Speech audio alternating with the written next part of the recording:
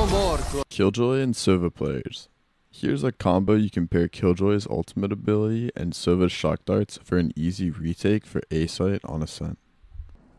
For the Killjoy player, your ultimate will go in this corner. This covers the site and leaves a small space in wine for enemies to go to. Here's where the Sova comes into play. Look straight down in this spot and line your crosshair up with this part on the floor. To make these land as the Killjoy ultimate goes off, start firing the first dart as soon as the Killjoy ultimate is placed down. Turn around and aim the top left of your charge bar under this floating piece and release with run. full charge.